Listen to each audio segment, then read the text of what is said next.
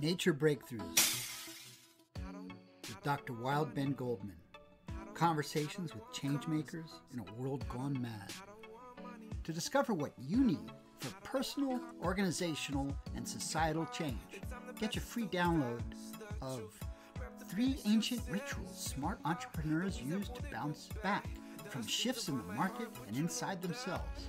Go to www.naturebreakthroughs.com. Yes, you pull them, yes, you pull them till they bite down. On the lies that you built from my doubt. I don't want money, I don't want cars, I just wanna be free. So, welcome, Marie Deveaux. Is that how you pronounce your last name? It is, yes, Deveaux. I know it's French, so there's extra letters for no apparent reason. Is your Uh, your family background is French? No, actually, the name itself, uh, my father is from the Bahamas, and there's a street in downtown Nassau called Deveaux Street. And so it's, everyone in my family will tell you it's a very Bahamian name. Um, but as far as I know, we're, we're not French. Interesting. Um, Yeah. And so you're the founder of High Tides Consulting, right? Yes, that's right. High Tides Consulting. We do coaching and consulting for um, leaders who are looking to be more inclusive. All right. So welcome to Nature Breakthroughs, conversations with change makers in a world gone mad. And, Yeah. And what's the change you're trying to make in the world? Yeah, so I primarily focus on inclusive leadership and how we can bring uh, more nurturing environments to our workspaces. And so I work with a lot of women of color who are transitioning from otherwise toxic work environments to really stepping into creating businesses that are nurturing, that are loving, that really support and um, validate who they are in their full identity. And then I also teach workshops in corporate spaces to help them create those spaces where everyone does feel welcome in their work and supported. So like what's the what's the if there was one is there a key to this? Well, a key is work shouldn't feel like work. What should it feel like? It should feel like fun. It should feel like play. It should feel like a big hug. And I think a lot of times that's not how people experience their work. You know, as someone who's been an executive and it's someone who has been accused of being toxic as an example. Mm-hmm.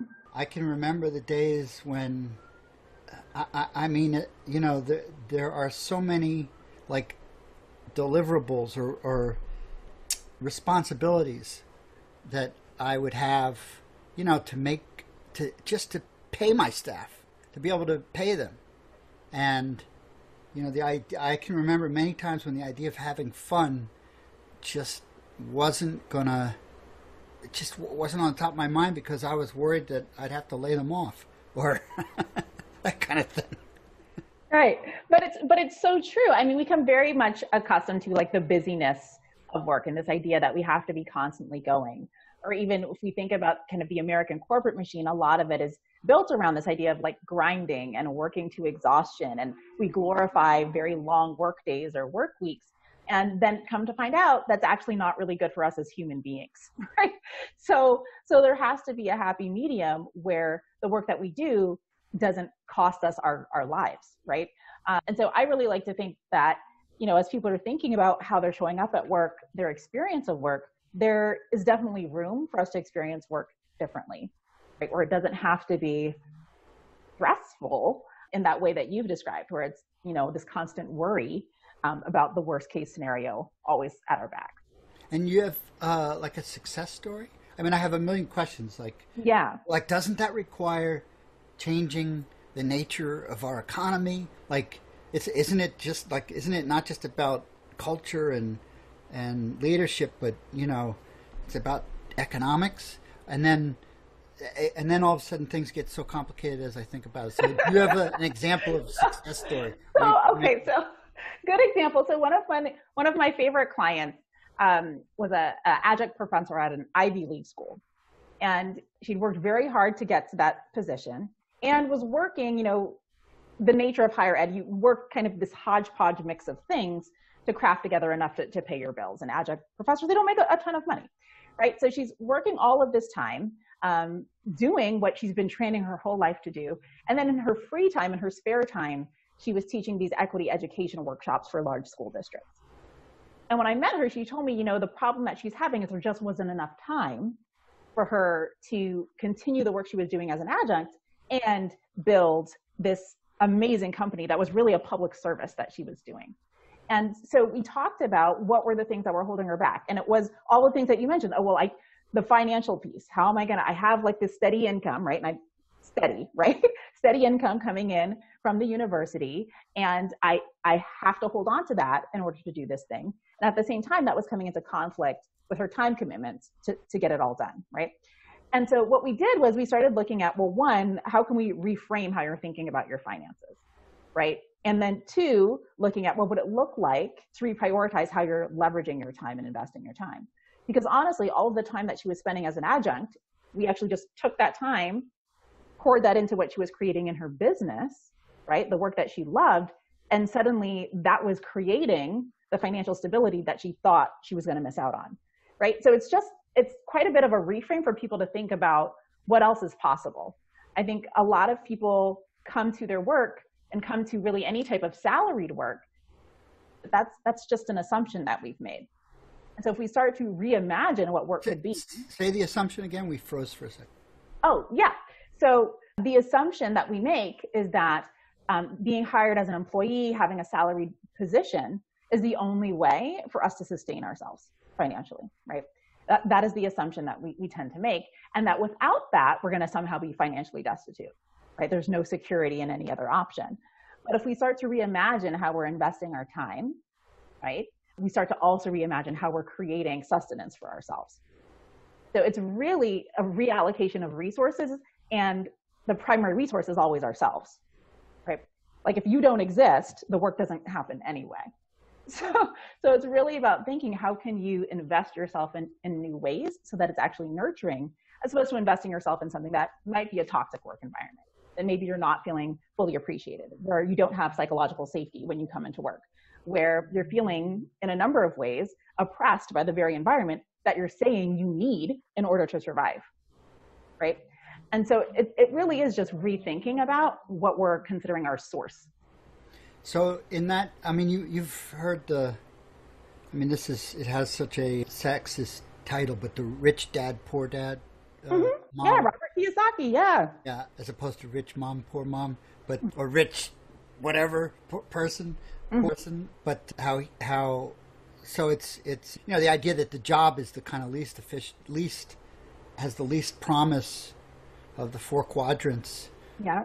of making money, where you know the job is is you know you're selling your your time and then if you become an independent a self you know self-employed, self-employed. Mm-hmm. You, are still selling your time but you're you're selling it back to yourself you're not selling it to somebody i mean you're in control more in control but it's still selling your time and then if you own your own business where you, you're you're able to hire people that gives you more time and more more leverage and then then you know the greatest leverage is to to just invest in other people. And I, I don't is that part of what you're talking about or? Well, I think tangentially, I think even in that framework, we're still limited by you know largely like capitalism being the only way to do it, exactly. right? So yeah. again, like there's a, there's an assumption in there already, but I think to a large extent, the idea of really kind of the highest you can get on that food chain is investing in other people. I think stands true but I would also attest that the most important person for you to invest in is going to be yourself. And and it's not really investing in other people because of the system. It's investing in corporate structure. I mean, in the in enti- in corporate entities. Right. right. Know, so it's it's people, but it's people organized in legal in legal entities. You know, mm-hmm. in companies. Yeah, but even that, even I mean, even that idea is is kind of interesting because you know, in the United States, you form a, a company and it becomes an entity. It's like a person, right? Which in a lot of ways is problematic, right? Because a company actually is not a person. A, a company is a, is a company. And I think one of the, the things that really struck me when I was working in the corporate arena was that I thought human resources was the place that really cared and nurtured people.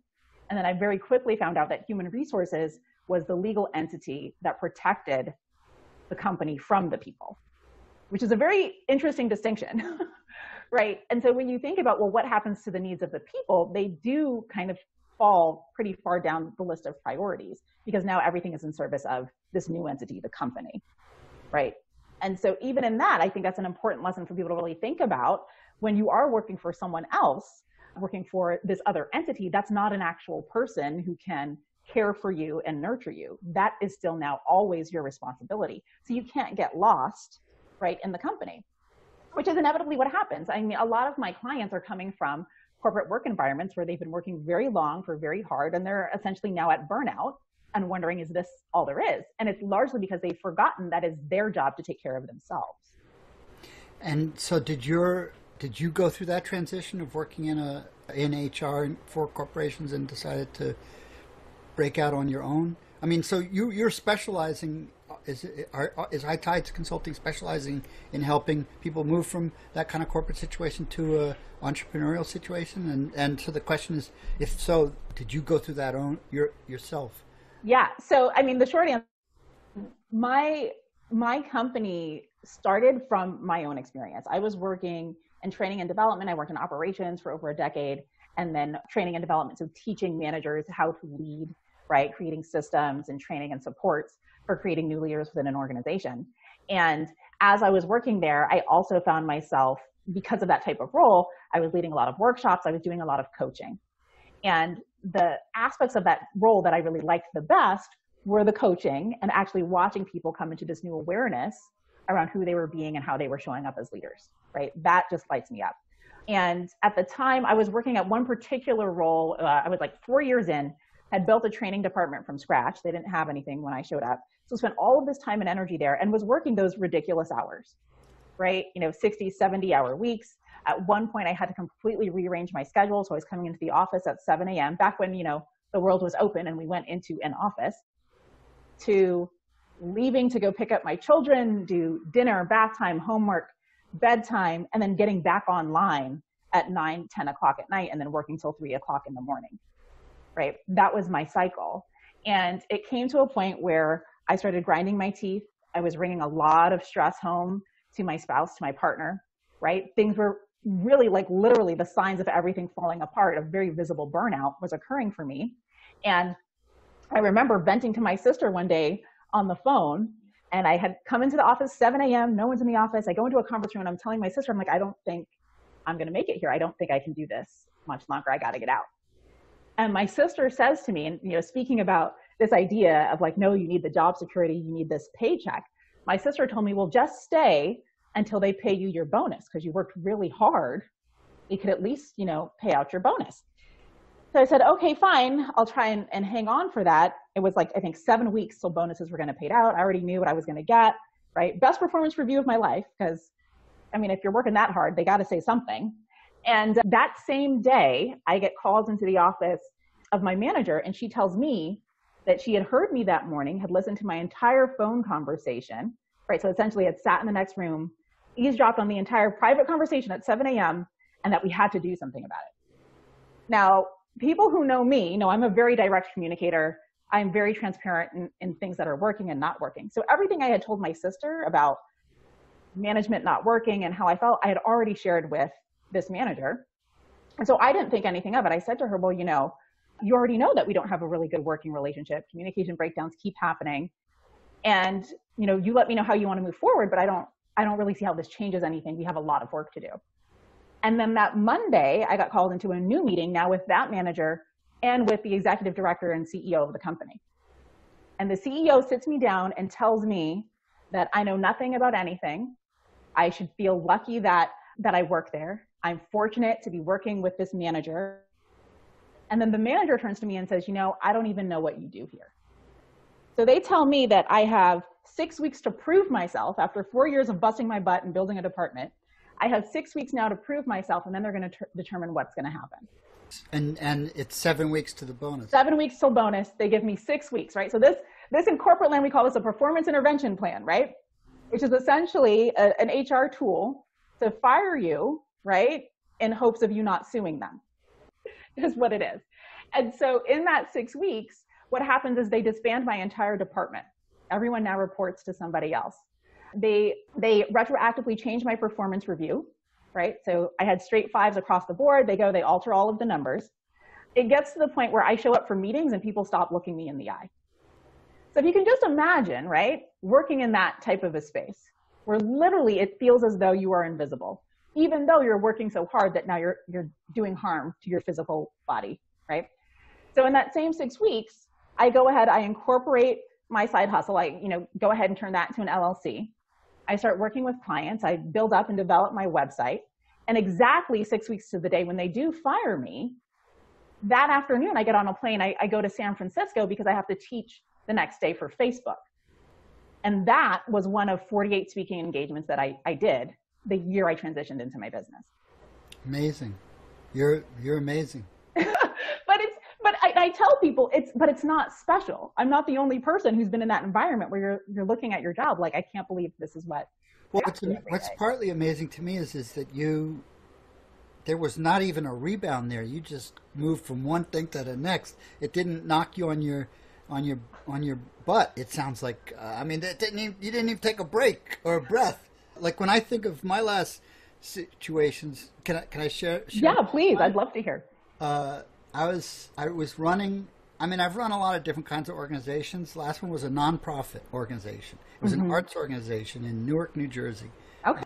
The oldest contemporary art space in New Jersey, and I did amazing work there. I, I the the former executive and his lieutenant were assaulted by a hammer wielding lunatic, and the and the place was basically about to go under. And they hired me, and I I all the programs grew five to tenfold. Mm-hmm. I served so many more youth and artists, and I mean, we did so many innovative things. We started a, a massive mural program in, in in Newark.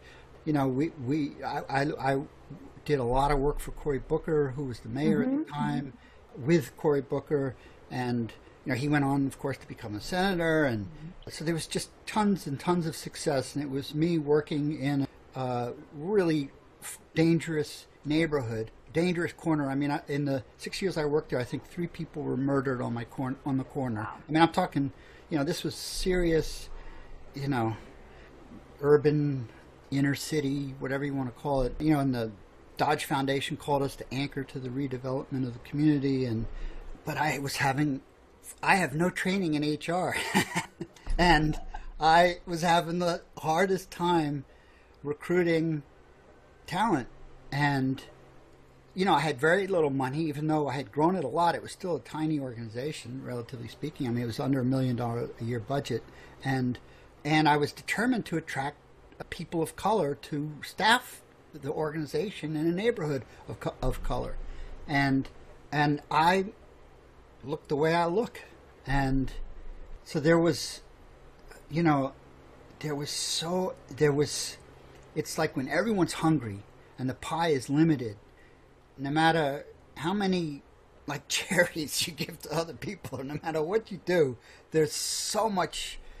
It's it it's like a it was like a pressure cooker, and I hired a young African American woman who was under you know under trained, but I kind of I guess always figured people were like me; they would just learn what they needed to learn and and and get the job done and she needed more help uh, than I could give her, basically. And so what I did was I teamed her up with a board member who was also an African American woman. And I thought that you froze for a second. I teamed her up with an African uh, American board woman who was a board member to, to mentor her. And meanwhile, I, I had an executive coach who had been telling me for three years I needed to leave that this was never going to work. No matter how hard I, no matter what we accomplished and all the great things we did, that this was burning me out and was going to like kill me. Mm-hmm. And you know, and I had pneumonia from working so hard, and you know, all kind, anyway, I'm going on and on. What basically happened was she, the two of them started an investigation of me, got the board to begin to investigate me, mm-hmm. and so all I all I knew, and it was the kind of thing you know, like the the the boy, little Dutch boy, putting putting his fingers in the in the yeah. you know, mm-hmm. and so I would be, I would be, you know, creating this program, you know. So as an executive, you got to manage a board, and you got to manage your staff, and you got to manage your programs, and you got to go fundraise, and you got to do all these different things. So, so I took my eye. So I had actually slowly developed, create, cre- put. I had slowly uh, professional. Well, I had slowly what do you call it? What's the word? when you cultivated the board, you know, like I, I, I gave them training and I, Mm-hmm. I had rotated everyone out and got it all professionalized so that there was an actual rotation. It wasn't the same people on the board for 100 years. And there was all new board members, or mostly all new board members, that I had sele- found. You know, so they, so they were all my board members. But I I left them alone for a couple months because I was so busy doing other stuff, and I, I was noticing that they were not helping. They were not helping me fundraise, and uh, uh, you know, I, I what I didn't realize is that was because they were spending the whole time investigating me. Oh, and, wow. Yeah, and so they they finally confronted me out of the blue, you know, with this with this fact, and you know, my mouth uh, dropped, and I was like. You mean this is what you've been doing instead of ra- raising money? And uh, well, so I don't know why I'm going on and on, but oh, just that, that it, it affected me much more than it did you. I didn't just pick pick my I could I didn't rotate into the next thing immediately afterwards. It really knocked me uh, knocked me down. And I remember saying to the board chair, maybe it's time for us to talk about uh, transition he his eyes opened because he he was one of the remaining board members that had been there for a hundred years, and I thought he, I think he thought I was going to talk about him leaving the board, and uh, so when he realized I meant that I wanted to leave, that I was we're talking about my transition, Yeah. but I also don't think he he wanted. I don't think they wanted me to leave. I don't think they even knew what they wanted. But anyway, that's what happened. I left, and then I ch- I completely changed my life to doing this self development work. But it it that was too long of a story. But I'm just impressed at how you just went from one thing to the next, and it kept going. Whereas with me, it made me question my whole existence and what I was doing and Yeah. who I was. And Well, I think a lot of that is was still happening for me internally, and I think what's interesting, even in in hearing your story, you said you were working with an executive coach who was telling you for however long, like you got to get out of here. This isn't this isn't the place. And I think for all of us, when we find ourselves in situations we're not meant to be, there are signs that we see far before the the event occurs. Right? When I, you know, that six weeks when they decided to put me on a, an, an intervention plan, like I already knew that I wanted to leave. I was already plotting and already saving my, you know, my reserve, you know, money to try and figure out how can I disentangle myself from this situation. But even that, I think, was delayed when I think about how long I'd been suffering from grinding my teeth at night, how long I was bringing stress. Like there are signs, right? And Yeah. I think for a lot of us, we're just so willing for so long to ignore. This. So I think think for a, a lot of us, it's not that I like bounced back necessarily, but I wasn't surprised. Yeah. Uh, but I mean, I can remember sitting in the room when we the board members went around telling me, you know, I guess it was like a 360 review or something. But I mean, I'm sure you were in that situation during those six weeks where you you're just like, uh, my blood was boiling. I mean, I couldn't believe they were saying the things that they were saying to me. Did you you know what I'm saying? Did you have that kind of?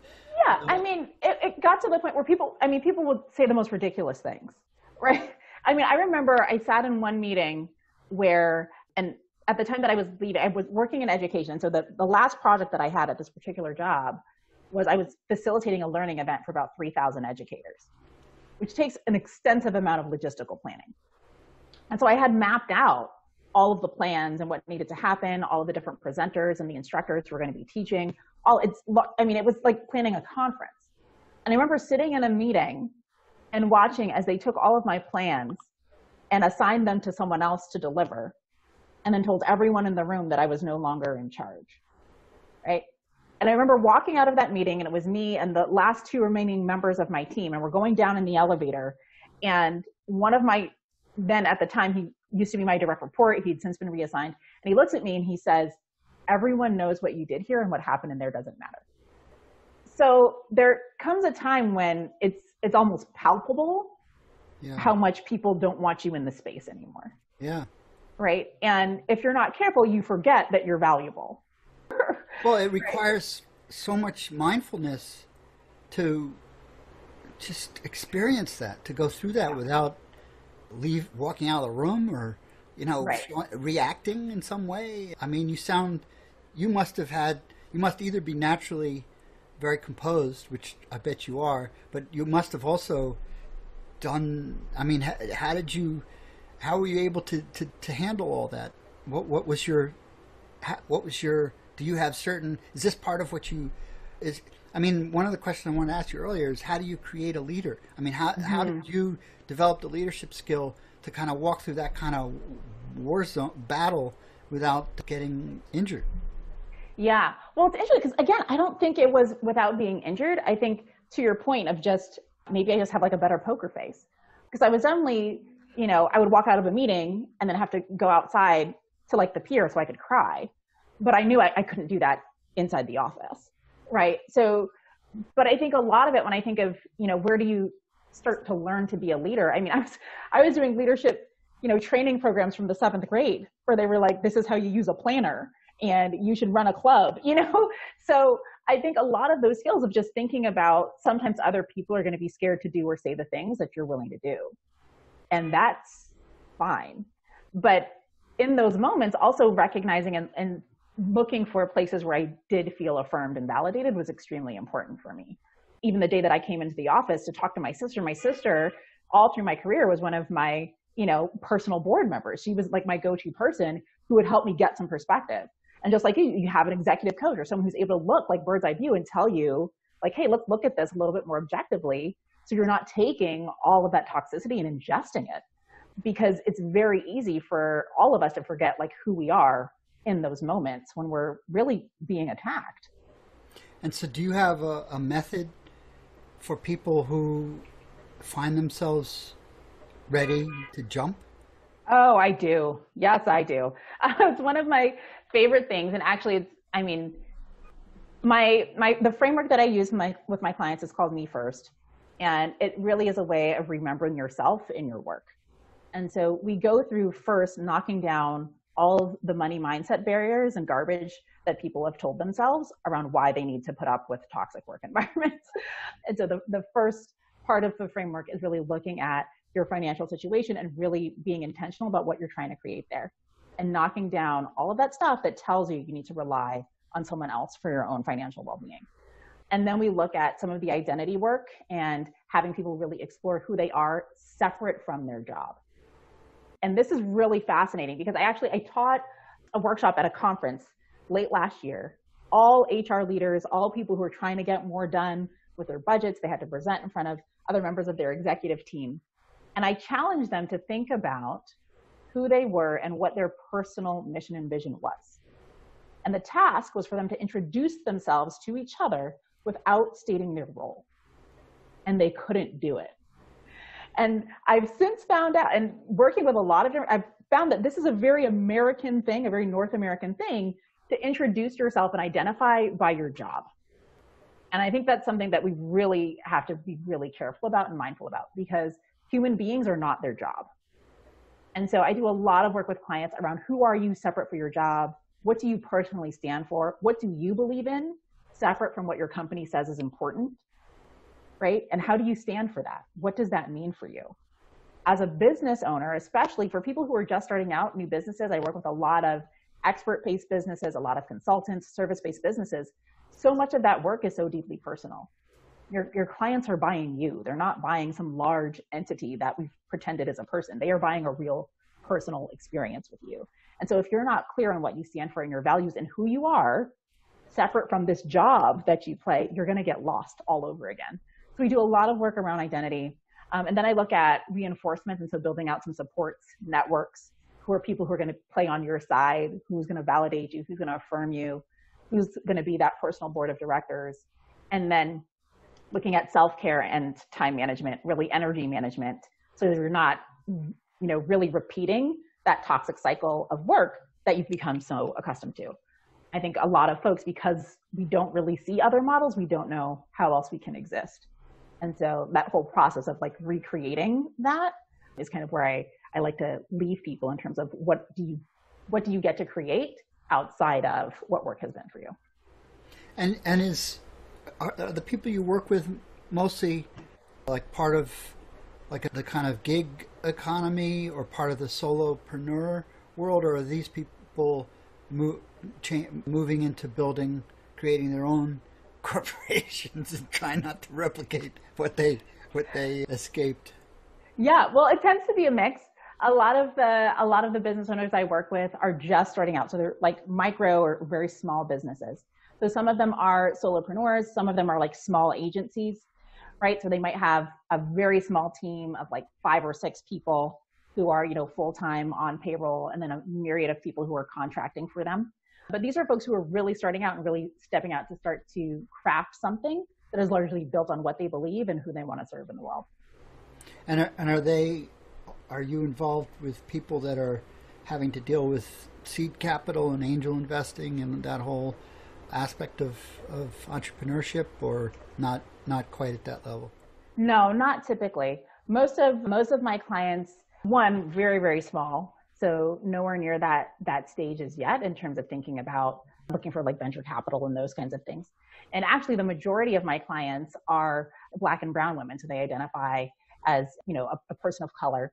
And largely for those groups, those kind of opportunities just don't exist at that the same level that we see in other spaces. So when we're talking about finances with my clients, we're usually looking at both personal finances and getting a grip and understanding on what they need to create there what does sustainable mean for them? And then looking at from a business perspective, then putting together an operating budget and starting to think about funding sources. But mostly we're looking at grant funding, we're looking at ways to use crowdfunding and the power of community to build what they're what they're creating. And I have spoken to um, a few venture capital coaches in the space as well to see what else is available. But I think the world of venture capital has a ways to go in terms of equity and inclusion as well for that to be a viable a viable space for a lot of my so, clients. So am I understanding you correctly that you're sounds like a lot of your clients are, are actually starting nonprofit type organizations when you say grants? No. So most of my clients are starting for profit organizations. When I'm talking about grants, I'm largely talking about small business grants and opportunities. Because I do serve a population that has largely been marginalized, there are a lot of opportunities for them to take advantage of in terms of government funding and seed money to get started as minority owned businesses, as women owned businesses. And so making sure people are taking advantage of those resources getting started as well. And that's its own complicated, that's its own complicated niche. Getting... It can be. It can be. Every every state is going to be a little bit different in terms of what they require. There's also the federally funded programs, right? So looking at ways that they can really leverage all of their municipalities and getting support around what they're creating but again, most of them are are starting so small, having them even think about what what do they need in terms of operating capital is for some of them a huge hurdle. A lot of my clients have a lot of scarring from how they've related to money in the past, either from how they were raised to think about money. There tends to be a lot of scarcity mindset there, this feeling of there's never going to be enough. And then also just fear of confronting financial statements. Um, I can't tell you how many clients tell me, oh my gosh, I may have just spent three months getting you to actually let me look at and have the bravery to look at my financial statements and come up with a plan. So, and that's not to say that's everyone, but there's a lot of work to be done in terms of how people reframe their relationship with money. But these people you're working with must be very successful people to be able mm-hmm. to afford to hire you and to yeah. have their own businesses and mm-hmm. so this is so everything you're saying is a very inside view, right from the outside, they must look like they have it all together, and they're they're exactly they're the successful ones from the that they're the ones that are representing the success of, of the community and the, right. Yeah, for a lot of my clients, they have advanced degrees. It looks like they've done everything right. Yeah. Um, a lot of my clients, they're masters, JDs, PhDs. They've spent a lot of money on education and have been climbing, climbing, climbing. And now they're tired, and there's a lot of guilt around them walking away from all of that usually because there's some expectations from their family folks in, in this community who have spent a lot of time on their education who now have good jobs there oftentimes tends to be an expectation that they're going to help the rest of the family right? But we also have to take into account if you have three four advanced degrees you have an Im- immense immense amount of education debt behind you as well. And so when we talk then about well where does their money conversation come in? It gets to be very tenuous. And people have a lot of guilt about like well who am i to throw away this career, to throw away this education that my community supported me to get, to go and do this thing that I love. Like they see it as very selfish. And so there's a lot of work to be done on like undoing some of that, you know? Can you, can you give me another success story of of someone who did that and did and like the last example you gave me, you said it so quickly I couldn't even understand what it was. you said something about equity, some kind of an equity thing. What what what is the success of a story of someone that left the corporate world and and did something that they love that that's working? Yeah. So another great example. One of my clients was in the uh, therapeutic setting, and she was working at a community practice. Right. So she's one of several counselors or therapists that people could see there. And she really wanted to step out and form her own private practice and really niche down in an area that she works on around resiliency and response to trauma. And is this um, a, like a psychologist? Yes. Yes. PhD psychologist? Yes. Yeah. Doctor, right? Doctor. doctor. And but so not, she, a, not a psychiatrist, a, a PhD doctor. Yes, a PhD doctor. And so, and so she had this body of work that she's really passionate about. And working with her, there was a lot of money blocks, right? Because she had been largely working in community practice for such a long time. And people don't realize this, I think, about a lot of the health professions, right? Kind of the westernized health professions. But doctors spend a lot of money on billing and on insurance and on the overhead of running a practice. And so she was actually making very little in terms of her take home salary. And so when we talked about what it would be for her to transition and move over and start her private practice to do the work that she was invested in, she immediately had a lot of resistance and a lot of blocks. And she almost completely dropped out of my program. And she called me one day and she's like, I'm going through the finances section and I just, I don't, I think I have to drop out of the program. I can't do this anymore. And she couldn't do it because she didn't like the finances or that the, or that when she looked at the numbers, it was bleak. It was bleak. It was too daunting. She was like, there's no way that I can do this. I don't see how I can do this. Meaning now, that the numbers didn't add up or that it was too, it, it's, or, or was it that her, you know, expertise is in psychology and it's not in financial management. So just, just having to face making all the calculations can be overwhelming for someone, even though if they were to make the calculation, they could see, oh my God, I'll make so much more money. Yeah. Uh, but they don't get to that point because it's just too many numbers. It's too. It's, right. It's it just, it was immediately like a red flag, a huge resistance for her. And now, of course, that's when, you know, as a coach, you're like, great, let's hop on a call. Let's talk about it. Right. Let's, let's look at what's going on for you. And she stayed in the program. She's actually now been a client of mine for over a year and she had started her private practice. And she's also received you know a small business grant right? So it's you know where there's a will there's a way. And we have to there's always room to help people see like hey this is a roadblock. You can actually move it right? It doesn't have to stay here. But i think that's a good example of you know there are a lot of these kind of financial stories these money stories that we tell ourselves that hinder us in other ways because from that place of thinking, well, I'm never going to be able to go into private practice, she would have changed nothing about her situation. But these are these are not just psychological blocks. I mean, just take the example that you're giving.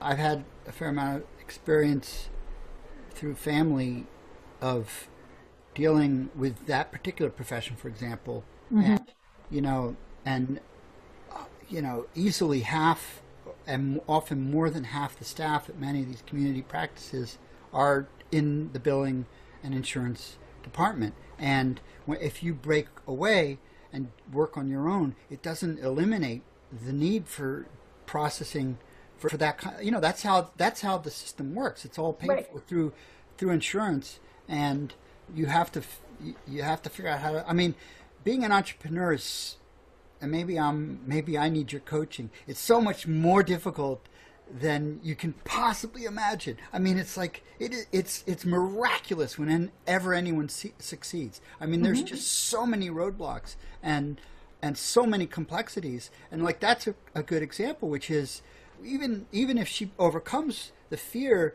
of doing the calculations, you know, that's a real management job to figure out how how do I get all you know either they don't take insurance in which case it's like its own particular business model or if they do they have to they have to hire out they have to have a whole system set up to, right. to process all that stuff. Right. But that's that's also too where we get into well what support structures are you putting in place? Because especially for someone who's like a therapist someone who's in you know solopreneur who's independent practitioner you have to have support right Um, I tell my clients there are things you're going to start to learn about as you're running your business that you're not going to like. But that doesn't mean you have to do them forever. You have to understand them, right? At least to the point where you're able to delegate that to somebody else and you know what questions to ask that person. And so when I talk to people about, and they're, most of my clients, they come to me specifically because they hate the money stuff. they hate the money. I'm like, great, let's get you to learn enough about it so we can hire you a bookkeeper and a distant, a great CPA. We can make sure that you hire someone to do your billing, right? Because just because you're an entrepreneur doesn't mean you're meant to do all the things. And so there's a lot of room when I talk about supports and not recreating those cycles of burnout. Like, stop trying to do all the things. You signed up for your business because there's like one thing you really love. And there's going to be a time where you're not going to have as much time to do that one thing, but we're always trying to get back to that, right? Which means you need an abundance of support and you have to learn how to ask for help. Yeah. Very wise. Yeah. Um, but but you're right. There's a lot that goes into a business that a lot of people don't even realize. well, and do you want to talk a little about the differences for women, for people of color? Like, I mean, I know as someone who's not a woman and who's not considered a person of color, how and who has is what they call a serial entrepreneur. Like, mm-hmm. and I've I, I I mean, it is so. I've seen every single. I don't know if it's every single one, but I've seen how things can fail in so many different ways. to add, if there's additional, if I, if if there are other things than what I went through, it's it's just. Are there, and what are they? mm. if you are a woman or a person of color? Ah, yeah. So I think so. There's a, a couple of things. So largely, women and specifically women of color are the fastest growing segment of entrepreneurs in the country, right? Known for starting businesses at a faster rate than anyone else. So why is that, first of all? And and can I also ask the flip side of it is what are the advantages? Like mm-hmm. we don't have to be all negative here. There's probably yeah. some, some advantages too. Well, I think so when we talk about entrepreneurship, right, and I, I love this question because even you immediately thought about uh, venture capital and startups and people who need seed funding. That is not the world that I live in, and it isn't the world that most of my clients live in. The reason that women of color entrepreneurs are the fastest growing segment in business ownership is most of those businesses stay micro, right? Most of those businesses are making less than $50,000 a year. Most of those businesses have a staff of one, right? And a lot of times women are starting these businesses in addition to running their households, in addition to supporting their families financially and otherwise. So the kinds of businesses that I see in my community tend to be of the side hustle nature, right? People who have a gift or a talent, they start marketing those services or those products to people in their community and they're not thinking that that's a viable way for them to live their life because they are doing all of these other responsibilities at the same time one of the challenges with that, and for those businesses who do decide to grow, some of them choose not to grow. I think for all of the things that we've mentioned already in terms of how challenging it is to run a full scale business. But for those who choose to grow, then that then brings in the additional complications of, well, where am I going to get funding for this? Most women, and I think when we think about even just access to capital, most women already are earning less than a man who has the same skill set and qualifications as they do already. In addition to that, women also then have less savings, right? For most of these micro businesses who decide to grow, a lot of the seed capital, again, because access to traditional means of funding tend to be more limited, um, and we're not approved for small business loans at the same rate. A lot of people are not well informed about some of the grant programs and other opportunities we have. So a lot of these businesses are then funded by women borrowing against their retirement savings. Right? So they are truly risking all that they have in order to grow. If we think about what's required for a business, you know, owned by a white male, right, to grow, we immediately start thinking about, oh, well, venture capital. And with venture capital, you have, you know, friends and family round seems to be the first thing to go, where people start getting money. Black and brown communities are underfunded already. And so our friends and family don't have the money to give us a couple million to, to bet on a business idea to bet on, oh, you're really good at making cakes. Let me give you all that I have to see if that's a viable. That's just not a reality in these communities. So there are already challenges in terms of just the community itself being underfunded. There are challenges because women don't make as much money and so their savings are not nearly as much as others in the space.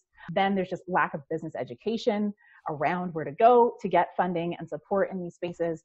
And then even if you are so lucky as to learn how and be in some type of incubator program to learn how to pitch to venture capital, there aren't a lot of black and brown people venture capitalists. And so the people you're pitching to don't have an understanding oftentimes of the community you serve, the problem that you're trying to solve. There's just not enough representation for there to be that synergy that most of these investors are looking for before they, they decide to sign on the line and give you a lot of money. Can I well, is there a happy ending to to that story or is it that that sounds so bleak and I guess can I play a devil's advocate a little bit? And Yeah, please. Well, one thing, I don't know if it's still true, but I'm pretty sure it might be that uh, well, I, I don't I don't know exactly how to say the statistic, but because you when you see the wealth because wealth has become so concentrated in such a few hands and there's there's outliers there's outliers like Jeff Bezos and, and stuff that command so much but uh, so this might be a little dated but in general strangely a big percentage and I, I would I, I know when I looked at it last which which is dated the majority of the wealth in America is actually controlled by women. Have you have you ever heard that? Perhaps say more about that. Well, it's just because men die younger, and oh yes, you know, so so there's a lot of older women uh. that end up ah. holding all the money, and and you know, or just you look at a guy like Jeff Bezos, he's the richest man in the world, but you know, when he gets divorced, he's got to give a big chunk of it to to to to his. So there's a lot of wealth being controlled by women, and I'm just wondering anyway, I want to put that in you out there that that that's something, you know. I mean, now there is obviously a whole history where the women have not been in charge of the corporate and in charge of the financial mechanisms, and they've relied on the men. Or, you know, I, I have to be careful how I say this. The men have controlled the money for the women, even if the women own it. But there's there's a big opportunity there. There's an enormous opportunity there and I'm just wondering what's being done about that. And that's number one. And number two, you know, in my experience, as kind of like an older white guy, I it it I I feel like there's so many of these. Well, first of all, let me just say, the entrepreneurial community has gone through like a, a revolution in the last ten years or so. Like when I started out in the in the 80s, there were none of the systems there were, first of all, there was none of the knowledge. There was none of the, you know, you were an entrepreneur. You were really working alone with no support. You were just like a pioneer doing doing stuff. Whereas now, there's all you know. They teach entrepreneurship in in colleges. I mean, that didn't exist when, when I was in college. There's there's all this knowledge. There's all these groups. There's all all this there, and you know the whole world of you keep talking about venture capital. I was talking at a much lower level of like angel investing, which is its, mm. its own animal, and there's entire you know platforms and networks and and they're just so hungry for for opportunities and I, and I think I, I mean I don't get the impression well I get the impression that there there's there's just tons more diver. It's not impression. My it's been my experience that there's just so much more diversity in all throughout that world, like in the decision makers, in the people applying, in the you know people that are working in that field. It just seems like there's so much potential opportunity there for everyone, and uh, you know almost especially people of color and, and women. People are like are are looking to invest in women and people of color. Uh, this is this does, do you think I'm like in some kind of fantasy land or, or well, I think so. Two things. I think one, thinking about this idea that the majority of wealth is controlled by women, and then kind of citing, you know, well, because men die and then they leave money, or men get divorced and then women get essentially like. Well, and women are also creating it, of course. I mean, the, the, that's that's another part of it, but that's more that's more recent. I mean, the the thing is, what I, what I'm talking about has been true for for many many decades like long before women have become now I think the majority of graduates in professional schools and stuff. So so now women are actually you know generating the money themselves. You know like through the system. So that, so that's that's also happening. But it, but you hear what I'm saying? This has been true for for decades. So I, I'd be curious to see the numbers on that and which communities that we're actually talking about. Well, it's the communities that own wealth, which means you know this is right not communities. so, it's the like, wealthy community we're talking about. Right. So and so even so even thinking about that and then thinking about okay opportunities for women and, and minorities the reason that there are an abundance of opportunities for women and minorities now is because we're really trying to make up time for the lack of opportunities that there have been. And i don't think we're anywhere close to catching up. Um, so and and that's i think that's just a reality. It takes a while for for things to change to where we can actually say things are equitable. And while there are still a lot of opportunities, and I love that you're, you know, even thinking about women are more represented in advanced degree programs in terms of education. Women do tend um, to be more educated in those capacities. And still, with that education, women are, are still not, they don't have the earning power in terms of traditional salary sense, right, of their male peers. So, in terms of this idea of then women controlling most of the the wealth, I think there's there seems to be maybe a schism in, in the data a little bit around exactly which populations that we're we're actually referring to. Well, what I'm saying is uh, there's this like it feels like there's like this untapped gold mine controlled by wealthy women that is a huge opportunity, and there's all these, I'm sure, institutional barriers to getting it, mm-hmm. as well as racial and other barriers. But right. it's there, and yeah you know, like uh, you know, just like when you think of the wealthiest brand names. I mean, what's her name? Steve Jobs' widow, and you know, Melinda, Bill and Melinda Gates. I mean, it, there's, there's huge amounts of money that that that that the that that the women have have have either complete control over or partial control over, and I don't know. I don't know. So, is, is your suggestion that all the wealthy women create some type of grant funding programs for small business owners? Well, what, what I'm saying is there, there, there's an ask there to be made. Mm-hmm. I don't think it's going to come from the wealthy women. I think it's going to come right. from the women that need the money, asking the wealthy women and and saying, you know, black women, whatever the Black Lives Matter equivalent uh, statement would be for, come on, ladies, time to invest in us. Mm-hmm. Yeah, well, I think there there is something to that. I think, but kind of going back to our earlier conversation, that that would require all of those entrepreneurs to to presume themselves worthy of that in the first place. Yeah. So, and and also it takes on a, it, you know in the fundraising world it's called moves management. Have you heard mm. that? You know, it's like it's like okay, I'm here, wherever in Brooklyn or Harlem or wherever I'm living. How do I get to to that to that yeah. person there? And and it's it's it's that's a that's a science. That's or not a science, but there's a real art to that. And but it it can if you get set your mind to it, it can happen. It feels to me like it's it's going to happen. I mean, it's going. I know it's going to happen, but I don't know how long it's going to take. Right. Well, it's interesting because the world is definitely getting smaller, and I think the yeah. power of, of networking is what kind of gives us access to new resources in that way. And so much of that work has to be done intentionally. Yeah. Um, you know, and again, as you said, like there's a lot that goes into entrepreneurship. I think networking and expanding your network and building those relationships is a huge part of it. And I think for a lot of entrepreneurs, that's still a huge growth area. Well, and also in terms of, of leadership, you know, what you were saying was a lot of the people you work with are thinking, maybe are not thinking, are thinking small. That, that mm-hmm. the, the, you never even once said the word scale. Like, how, how do we scale?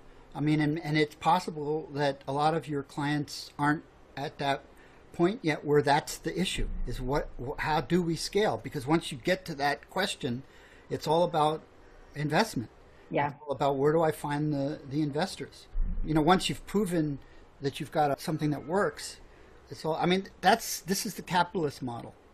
And maybe that's not the future that you you're pushing for but that's that's the world that we, you know, that's the world that controls us right now. Oh, interesting choice of words, Ben. I don't know. I don't know about that. I think that's the world that we choose to live in for the moment. oh, if it's it's completely a choice, there are definitely choices in it, but there's some of those choices are limited by the system. No? Mm, I think I I think that's somewhat somewhat debatable. for most people, the thing that they want isn't money, it's the thing that money affords them. And so I still think that there's room to, to bypass money in a lot of situations in order for us to get our needs met. Money is just a tool. It's a very popular tool, but it's not the only one. Yeah, I hear you. Yeah. But uh, yeah, entrepreneurship is not easy. And, and there's always, there's always learning and growing to be done. And the work you're doing is amazing. I'm so inspired by, by what the things you've told us. Any any other? Well, tell, how do people get in touch with you, and what what kind of? Tell us a little bit about the programs that you're offering, and and who they're for, and how people can make use of them. Yeah. So for entrepreneurs in transition, I do a group program, and I also do um, one-on-one coaching for Black and Brown women who are looking to jump into entrepreneurship, who have that you know that side hustle bug, and they're trying trying to really grow it and establish it. And I do the group program starts there's one that starts in September and another that I do in the spring.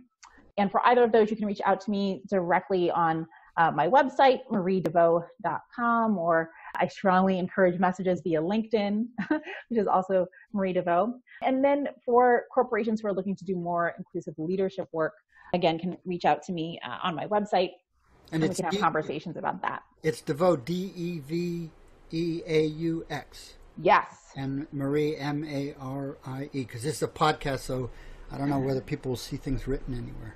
Oh, well, you got to put it in the show notes, Ben. Well, it'll be in the show notes, but I, I don't. I don't know. People might just listen to things. that's true. Good point. Well, that's fantastic. Well, thank you so much for spending an hour with me, and what you had to say was fascinating. And let me know how I can support you because I, I, I think what you're doing is amazing. Ah, well, thank you so much for having me. This was a lot of fun. All right. Till till we meet again. All right. Enjoy the rest of your afternoon. You too. All right. Bye. Bye bye. Thanks for listening to the Nature Breakthroughs podcast with Dr. Wild Ben Goldman to discover what you need for personal, organizational, and societal change. Get your free download of three ancient rituals smart entrepreneurs use to bounce back from shifts in the market and inside themselves. Go to www.naturebreakthroughs.com.